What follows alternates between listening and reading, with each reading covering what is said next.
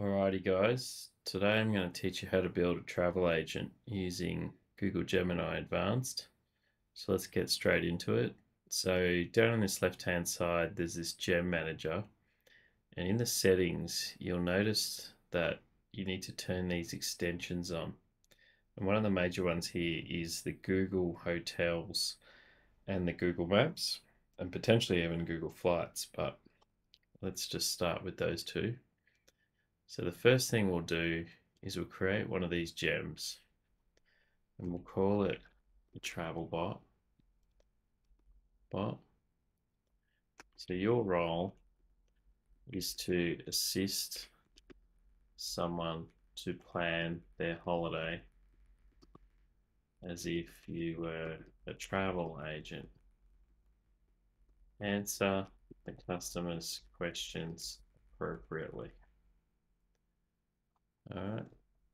Now I'm just going to click on that little magic pen there and that'll turn this into a better prompt. Okay, save. Now, here you want to be quite specific and you want to build up your itinerary first and then ask it about the accommodation it needs some content to push across. But if we were to say, hi, I am traveling with a party of four to the United States on November 1.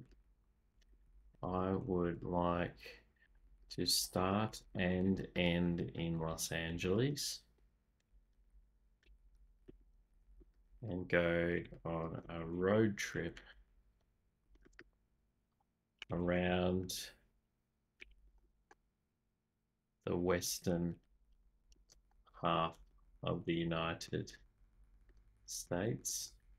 Long driving days is not a problem. In fact, it's preferred. And we'd like to stay out in rural America that is authentic as much as possible.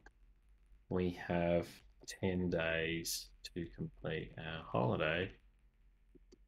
Can you please prepare a day by day itinerary for the 10 days?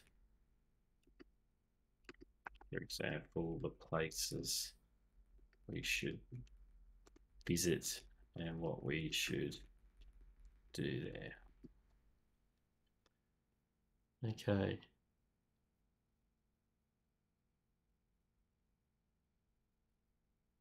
So Los Angeles to Sedona. Um, No. Please provide me the uh, itinerary for all days. Sorry.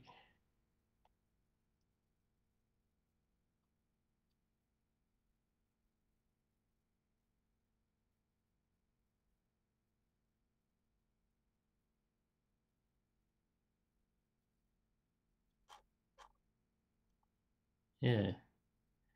Uh, something went wrong there. Please provide the 10 day itinerary in full.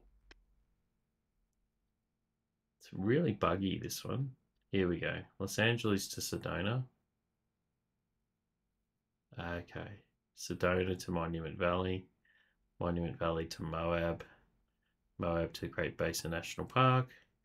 Great Basin National Park to Los Angeles. Um, please find me a suitable motel to stay at for each of the nights of the trip.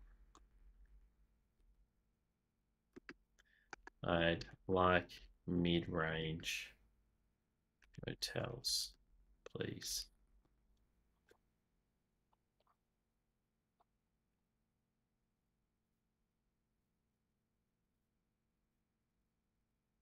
Okay.